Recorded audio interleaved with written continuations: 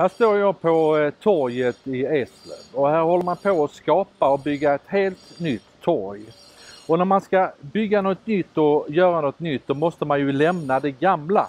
Och egentligen skulle man kunna säga att det är det som sammanfattar egentligen all den kristna tron. Som ni vet så har ju alla religioner en helig bok. Helig betyder att det är någonting också som har med det gudomliga att göra. Någonting som är större än människan.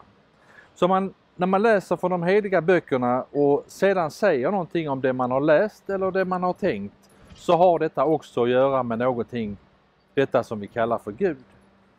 Jag tänkte läsa en kort snutt för er ur pingstens textsamling. Och den är hämtad från Saltaren och vi är inne i pingstens tid nu. Alla sätter sitt hopp till dig.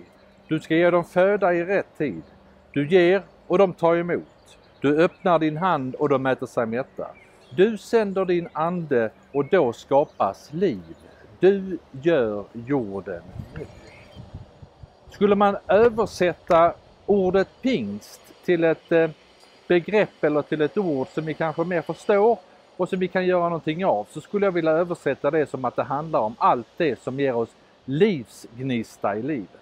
Allt det som på något sätt händer oss och som vi är med om och där vi verkligen känner att oj, det här ger oss liv, det här ger oss kraft.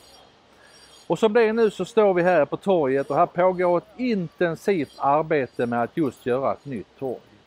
Och jag tror att de som har tänkt ut detta med det nya torget, de som har beslutat om detta nya torget, deras vilja och deras djupaste önskan är att detta ska bli en plats där människor kan komma just för att liksom tända livslågan eller hitta livsgnistan i livet.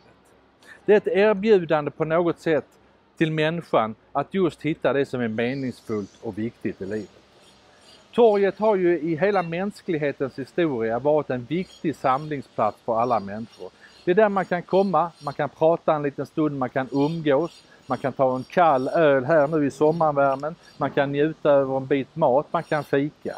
Man kan eh, titta på andra människor, man kan känna gemenskap, man kan sätta sig på en bänk och bara titta ut på alla som går omkring. Och man kan fundera sina egna tankar. Och man kan fundera och lyssna till samtal som pågår på olika sätt. Torget är en plats där man kan mötas, där man kan ha politiska möten, där man kan ha religiösa möten, där man kan handla grönsaker, man kan handla en god glass, man kan köpa en julgran och man kan också ta en liten korv i bröd om man skulle känna att hungern gör sig på.